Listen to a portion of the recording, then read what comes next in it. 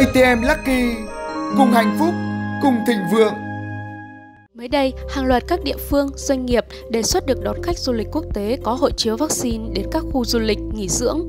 Dự kiến sẽ thí điểm trong tháng 8 năm 2021 và trở lại thường xuyên hơn vào tháng 10 năm 2021.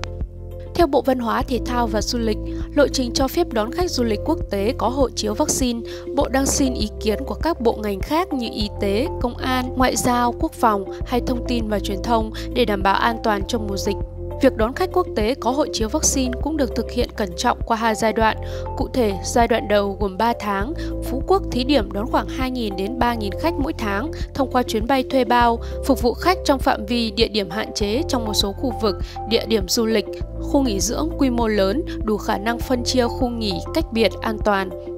Giai đoạn 2 gồm 3 tháng, quy mô sẽ mở rộng từ 5.000 đến 10.000 khách mỗi tháng, có thể đón khách qua các chuyến bay thương mại, mở rộng phạm vi địa điểm phục vụ khách. Bộ dự định đón từ 25.000 đến 40.000 khách du lịch quốc tế đến Phú Quốc trong 6 tháng thí điểm.